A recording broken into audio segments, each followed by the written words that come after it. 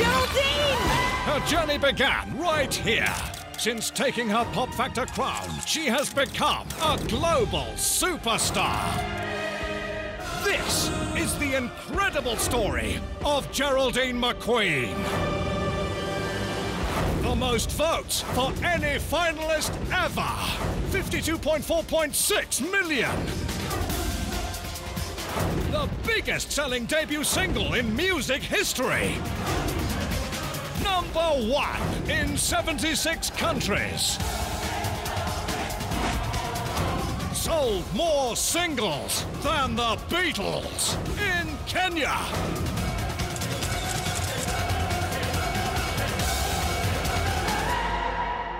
Since you crowned Geraldine your winner, she has become an international superstar. And it now seems that everybody wants a big helping of the dinner lady turned diva. I've not stopped. I've hardly had time to catch my breath, which is a worry because I'm asthmatic. It's been an amazing few months. I've been whisked here and whisked there, here, there, and everywhere. I've done more photo shoots than Max Spielmann. I've had me in every position imaginable. Nothing candid. Not yet, anyway. I met Barack Obama. Barack Obama, can you believe it? He's truly an amazing man. Got to sing the winner's song with him. That was incredible. But one of the highlights for me was going on Hole in the Wall. Though my team lost, I had Mr. T and Stephen Hawking.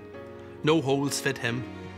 I also got to appear with one of my favourite bands of all time, Take That. I was a special guest on their show. Please welcome Geraldine! That was amazing. They were lovely, lovely men. Gary, Howard, Jason, and Mark. I met them all. I can't believe it. Look at me stood here with Take That. I can't believe it. And then I had to do a little bit of a quiz. Which member of Take That would like to ride me like a donkey? now, come on! You're not made of wood. You could probably have us all, Geraldine. All of you. Don't form a queue.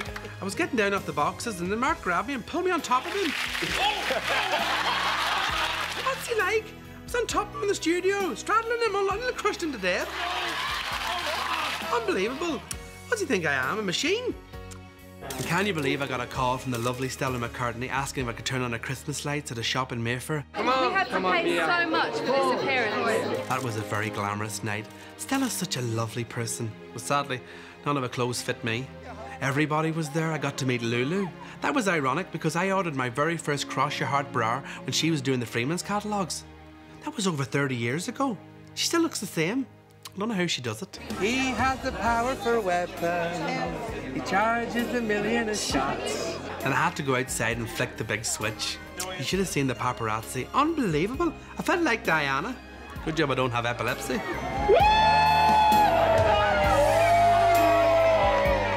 We sang a few Christmas songs, and then who would you believe showed up? Sir Paul McCartney. I'm sure that man's stalking me. It was amazing. We sang together. Having a wonderful Christmas time. See, I knew we'd see each other again. Special connection. But I think the highlight of everything I've done so far has been appearing on the Royal Variety performance in front of Prince Charles. I get emotional just thinking about it now. To think I used to sit at home when I was a little boy, me and my mummy and daddy, and dream about being on it one day. And there I was, on stage. Hello.